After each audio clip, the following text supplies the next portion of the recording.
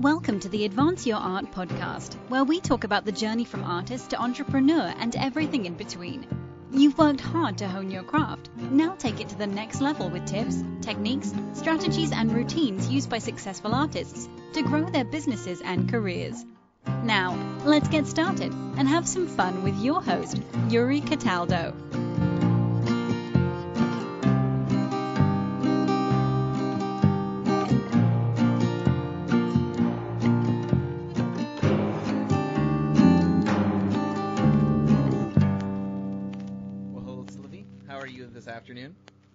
Hello, hello Yuri. Yeah, well, I'm very happy and hello, hello Boston. I hope I pronounce well. yes, you, you you definitely did, and uh, it's it's again it's a it's a lovely cool afternoon here in Boston. Probably not the same. I know you said you're in Vegas, so it's going to be really Yeah, warm where yeah. you're at. Yeah. Yeah, it's, uh, it, I, I, I believe it's about 100 Fahrenheit right now, but I like the heat. Okay. I like the heat, so it's not a problem for me. Okay. Well, that's that's good because you're it's it's hot out there most of the time, isn't it?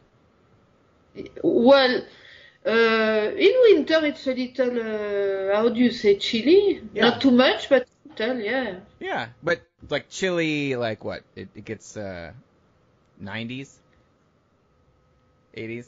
Oh, I 70 perhaps. Oh, okay. I I don't know. I don't want to say stupid thing, but it it it can be cold. I mean, you need uh, well, it's not cold like in New York. I was living in New York for two years. Yeah. Coming from uh, Sydney, Australia. Wow, it was really really cold for me in New York. Wow. I and I I I I, I didn't have. Um, uh, winter clothes, you know. Yeah. Wow. But I love New York, so it's a great city. Oh, great. How so? You said how long were you in New York? Two years. Two years. Great. And is that actually? We'll we'll get into that in one second. Let's uh. So let's start off with. So, uh, your how do you describe your work? Uh, well, so I'm a French vocalist. hmm Um,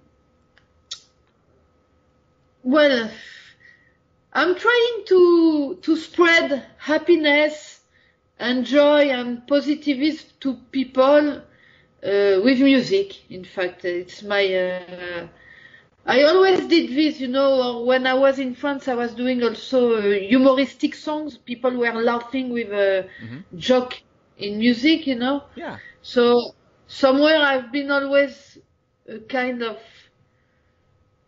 clown, um, singing clown before perhaps, and and uh, now just I'm I'm singing a beautiful song, jazz song, French songs, but um, well, it's it's my mission. I gave I gave me sorry for my English. I gave me the mission to to spread love and happiness, you know. Yeah. That's great. That's great. That's wonderful. And uh, you're coming through loud and clear, so no no worries on that. With your then interest and love of music, when did that start in your life? I, I think since um, I always loved music, um, you know, uh, and I started to play guitar around 14 years old, you know. hmm Uh, Probably to do like my brother was doing, he was playing guitar, so I wanted to play guitar. I guess so, but I always had music in inside me, you know, inside my bones. Yeah. Uh, but uh, also, what I I had also I like to. Um, I mean, I love also theater. I was uh, an actress. Uh, I started by acting by a theater, in fact. Uh, so I, basically, I like to be on stage. It's Okay. uh, my best way to communicate and, and give love and receive love to people. Yeah. Okay. So with so did you go to school to be an actor, or did you go to school? Did you study music in school? Uh, yeah, uh, well, after the, uh, how do you say, I think it's called high school. After high school, I started to, uh, to go to, um uh, firstly, uh, uh, theater schools and after music schools. And after I had uh, some training also time to time, you know, I think you, we call uh, professional uh, training for uh, one month, you know. Yeah. Okay. Yeah. Oh, great. And then so you you originally were an actress. I started by uh, learn uh, uh, acting, but uh, I, I guess I'm more a singer nowadays than, than an actress. However, when I was in Australia, Mhm. uh, let's say five years, six years ago, I uh, participate to a, a show mixing uh, theater and music. Okay. Yeah, so and, and I uh, I realized that when you have learned to act, Mhm. to play, uh, well, uh, you still have this in your. I mean, uh, I didn't forget too much. I just have a, I just had to train, and that's it. It came back. So I think uh, I don't know when, but I, I will come back to theater also. You know. yes, I do. That's great. Well, you're in a great city for both singing and music combined. Yeah. Yeah. So I'm I'm curious to hear the journey then, because you mentioned you were in Australia and then you were in New York. How did so? Let's talk about your journey. How did you go from, or why did you go from France, then to Australia, and then to the United States? Well, I really enjoy to live in uh, in Paris, and uh, for many years I, I sang in uh, in lots of different venues and festival and uh, laugh. Uh, how can I say a comedy festival because I was singing uh, comedy songs, but also theater with a show because I was singing also emotional songs. But after many years in Paris, you know, uh, I wanted to change and I wanted to be close uh, near near the nature and, and you know Paris like New York they are big cities with uh, often a grey sky, uh, lots of traffic, lots of stress. And uh, and then I went to Australia to visit and I decided that uh, well, I decided. I mean, I went also to Australia to see if I could, uh, if I was going to love uh, to live in Australia, and I really loved the vibe. So I went back to Paris. I, I, um how do you say? I made my luggage, and a few months after, Mhm. I was on the road to go to Sydney, Australia, where I started. Uh, somewhere a new career still in uh, singing, but uh, it, I, I had to change my repertoire. So uh, I started to sing um, the big French hits and uh, Edith Piaf, you know, uh, Mhm. for example, uh, La Vie en Rose. You know this song? I do. I love it. I love it. It's a fantastic movie too. Oh yeah, yeah, yeah. La Môme or uh, no, no, La Môme. It's a French title. What is? Was it uh, La Vie en Rose? I think is the English title. No? Uh, yes, yes, that's yes, that's the English title. In fact, uh, in fact, what, uh, I was uh, very happy to sing for the opening of the um, uh, Sydney Film Festival. So I was uh, the singer for the opening uh, when they sorry when they put the, this movie as a opening movie. Oh yeah, So the, it was- the, the premiere. Yeah, so I was singing at the premiere. It was really great. Oh Yeah. great. How did you get that gig? Uh, in fact, well, firstly I was starting to be known, uh, especially in uh, Sydney, but a little uh, in all around Australia because I sang with different on diff- for different festivals. But uh, I don't remember if they came directly to me or or it's uh, thanks to the Alliance Française, the French Alliance of Sydney. Okay. I know the French Alliance of Sydney has supported me uh, um, when I arrived, so I don't remember exactly. Oh sure. Okay. But uh, yeah, I finished when I left uh, Sydney. Even some singer told me, yes, for uh, for me, uh, uh, you are the French singer of Sydney. So it, it was nice. But...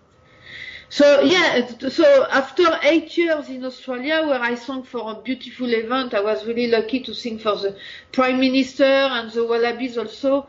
Uh, well, I wanted to see something else, and when I was a teenager, I always wanted to live in uh, in United States. So well, uh, I again uh, made my luggage and uh, went to New York City, where I was very cold uh, the first winter. because the winter of Sydney, Australia and the winter of New York are totally different. hmm So, and especially uh, it was uh, the winter uh, 2014, uh, 2015, you know. Uh, Oh yeah, that's the, uh, the big, well, the big was- snowstorm winter. Oh yeah, wow, wow. so and then after two years in New York, I really enjoy to live in New York, and you know I sang also in Times Square for a Best of France. It's uh, uh, the biggest uh, French event in the world, uh, apart of, uh, in France, of course. hmm And also I sang in Broadway uh, in, at the Metropolitan Room. But after two years, I just realized that uh, I was uh, living the life that I wanted to, that I didn't want anymore in Paris. You know, even if there's two different cities, but still, uh, traffic, stress, uh, not so much uh, sun, uh, cold. You know, I don't want this. So, well, I went. I visited Las Vegas and I thought that uh, I could I could do some uh, concert here and uh, Mhm. and it was hot. So now I'm in Vegas. However, my life was balancing between uh, between uh, Las Vegas and New Orleans because I really really love New Orleans also. Oh yeah. So I I think that. Uh, I'm I'm in I'm I'm in contact with some people in New Orleans. Uh, I will probably go to sing in New Orleans in 2018. Yeah. Oh, that's wonderful. It's it's a Yeah. beau- beautiful city. I've been there a couple of times. It's absolutely wonderful. Oh yeah, yeah. Wow, you love it also. But I Yeah. really love Las Vegas. I'm really, really pleased in Las Vegas, hmm and um, and um, I also am. I'm really uh, moved by a, a, a singer here. Her name is Sandy Castle. She was also Miss Nevada, and she. Well, uh, if you go to sandycastle.com, you will see she's doing lots of things for the music here, for, uh, for the woman in music.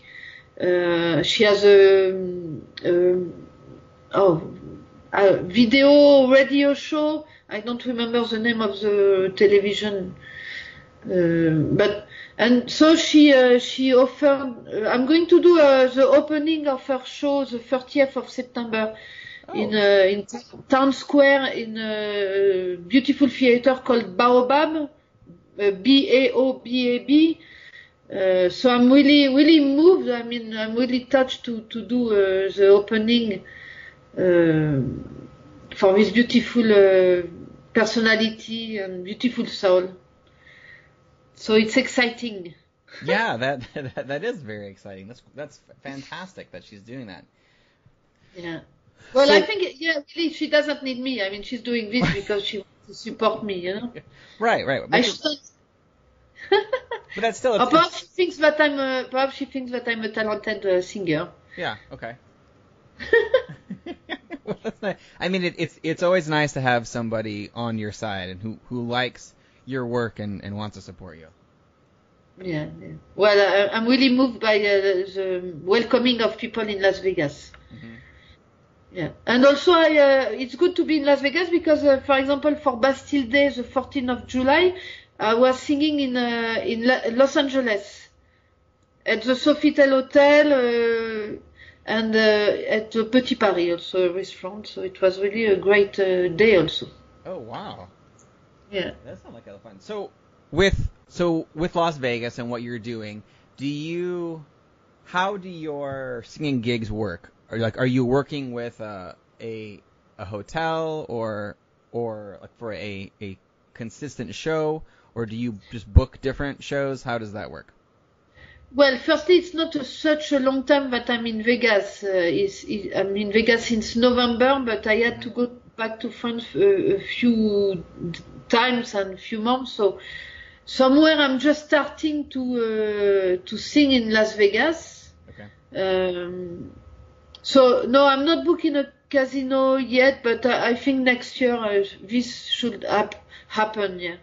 Oh sure. Oh, good. So I'm doing. I, I I've done the launch, for example, of a French maga- magazine called the French Quarter Magazine. Oh yeah. Well, I have done a few things, but uh, it's just the beginning.